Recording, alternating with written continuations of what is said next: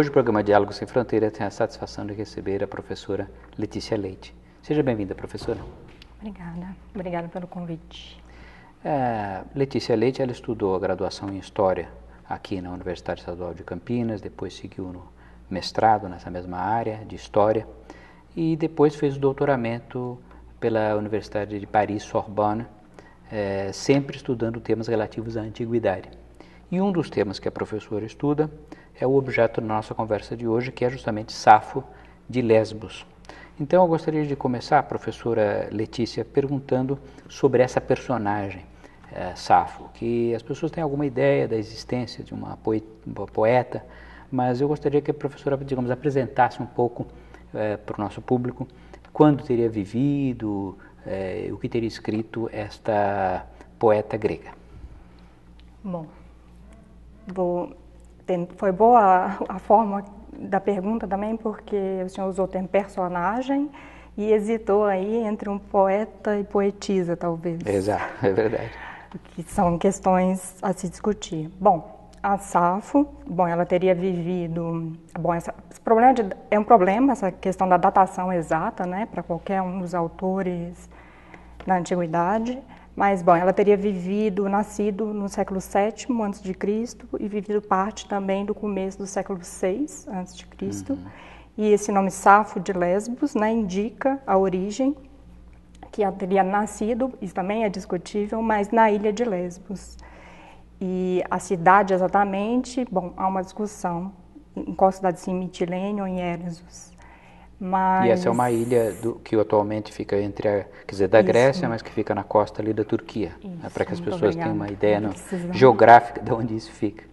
Bom, eu acho que também é uma ilha, esse que vem aparecendo muito, né? Porque é uma série de refugiados estão entrando pela ilha de Lesbos. Mas, é, bom, esse, esse só caso para localizar. sírios, né, que tem Isso. pela Turquia, vão entram na Grécia pela ilha de Lesbos. Isso. Então, é. eu acho que ela tem sido muito falada é. ultimamente por esse, esse fato. Então, ela teria vivido, então, retomando, né, no final, no, teria nascido no século VII e vivido até o início do século VI a.C., e o que chegou para a gente foram alguns fragmentos, na verdade, de poéticos, que também é um pouco uma palavra um pouco complicada quando se fala né, de poesia antiga, e é classificada, esses fragmentos são classificados normalmente como lírica, o que também é uma outra questão que eu não vou conseguir né, abordar aqui.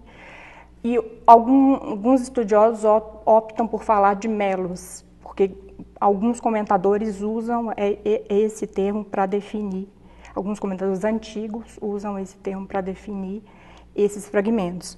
Hoje a gente tem nas edições mais respeitadas, vamos dizer assim, cerca de 200 fragmentos, dentre os quais apenas um fragmento, que é chamado Ode a Afrodite, seria completo, seria o, é o fragmento, é um poema, poema completo. completo.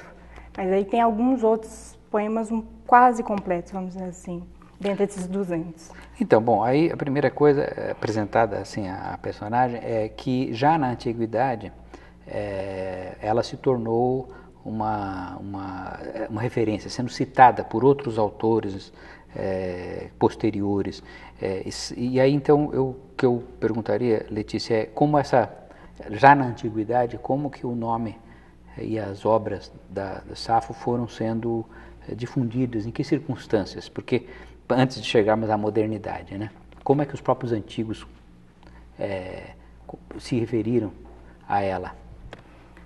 Voltando, que eu acabei não falando uhum. da questão da personagem, só é, essa coisa da personagem é interessante falar, porque como a gente sabe praticamente nada sobre a grande parte dos autores antigos, acaba vendo um processo de mitologização, vamos dizer assim, uhum. dessas pessoas é, então, e a partir das obras delas, o que é mais problemático ainda. Mas agora falando um pouco dessa circulação, é muito difícil saber, mesmo isso também é bastante difícil saber. Mas de qualquer maneira, o que é um, digamos, um consenso é, é que essas obras teriam sido editadas, eu coloco aqui entre aspas, né, porque o que, que é uma edição antiga, né, no século III apenas, né, pelos alexandrinos ali. Então, ali teve um momento de edição e se diz que teria sido em nove livros desses fragmentos.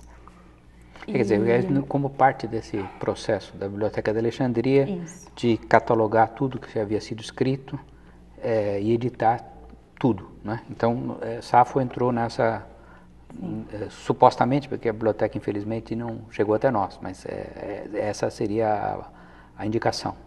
Mas, dito isso, é muito difícil, acho que para quase todos os autores saber em que contexto era isso era cantado, vou usar a palavra cantar ou recitar, uhum. se preferir, mas aí também tem uma questão de interpretação. É muito difícil saber como isso circulou, mas bom, o que a gente pode dizer é que circulou de alguma forma, de modo que foi inclusive chegou até esse século III para ser editado. Uhum. Mas é bastante complicado saber como e em que meios. Bom, a gente pode imaginar que em meios mais o que a gente chamaria de letrados, mas a palavra letrados é bastante complicada, porque não se trata. A SAF não escreveu, muito possivelmente não escreveu nada, né? Eram composições orais.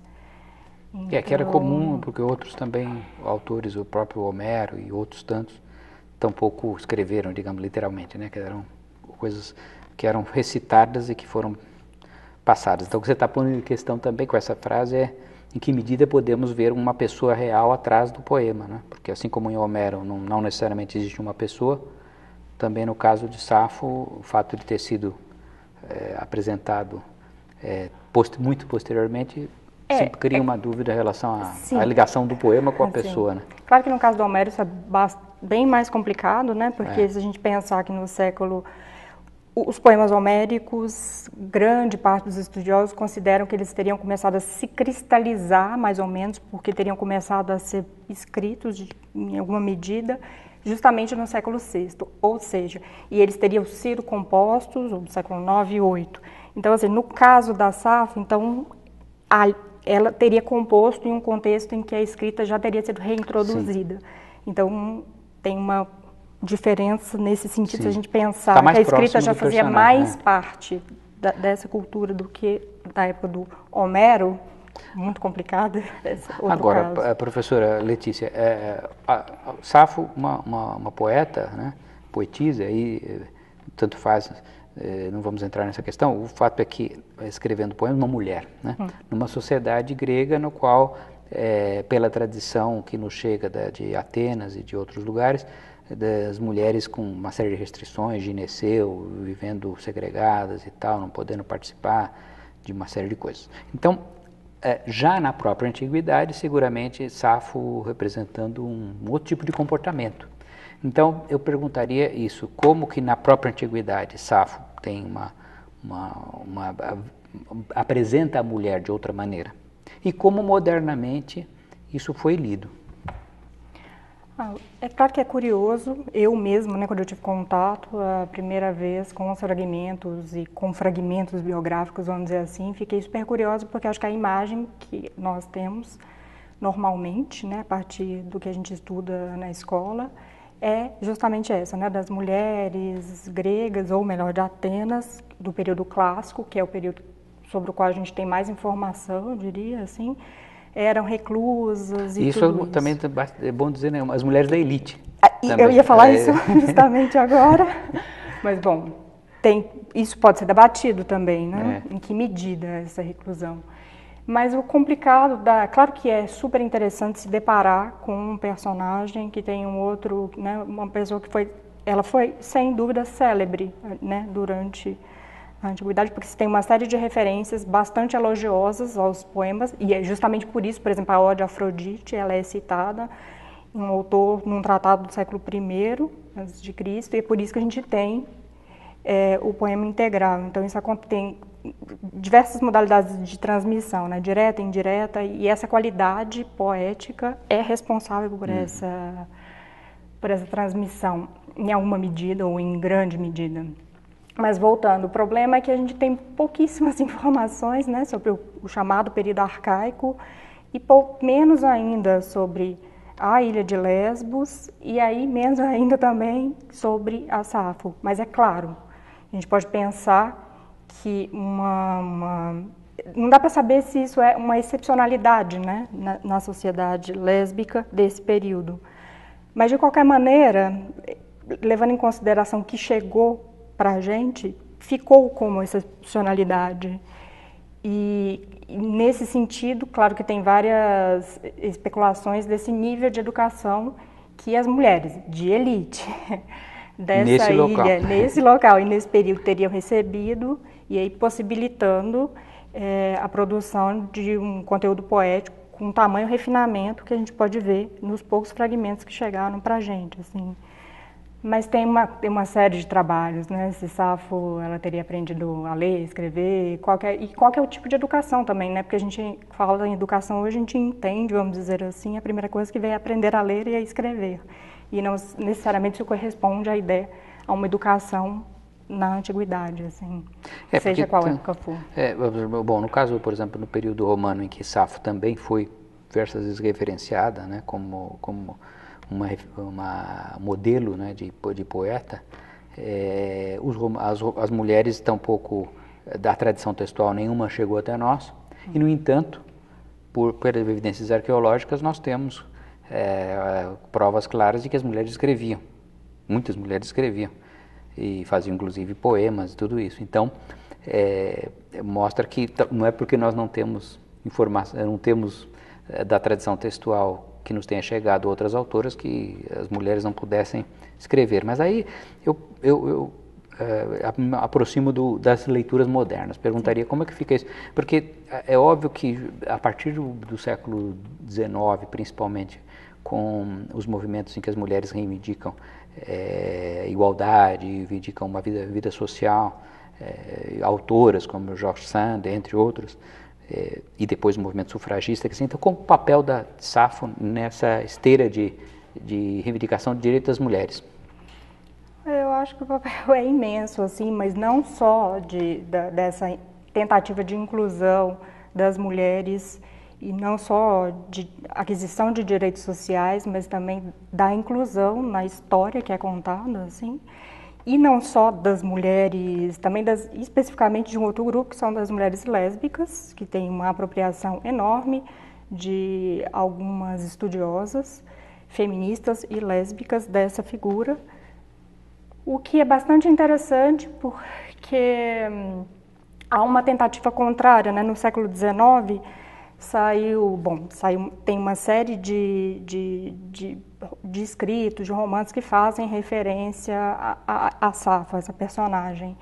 Mas tem uma coisa que é bastante interessante que aconteceu, é uma reação, porque dentre esses aparecimentos, essas referências a Safa, no final do 19, o Pierre Louis lança aquele Chanson de Bility, que foi um pouco escandaloso, assim. Ele fez uma série de poemas como se fosse a tradução de poemas antigos. E, e ele faz uma pequena biografia dessa poetisa, que ele teria que um arqueólogo alemão teria descoberto os poemas e ela teria se teria frequentado a escola da Safo e aí ele faz referência a essa questão de relações amorosas, eróticas entre mulheres. E houve uma imensa reação dos filólogos alemães na época para defender a Safo contra essa memória que ela não teria sido não é exatamente o termo que eles usam, mas eu vou usar o termo atual que a gente usa, ela não teria sido lésbica, que ela era uma professora de um grupo de garotas para preparar para o casamento, etc e tal. Então é muito interessante também que teve toda uma, uma resposta bastante violenta em relação a essas leituras.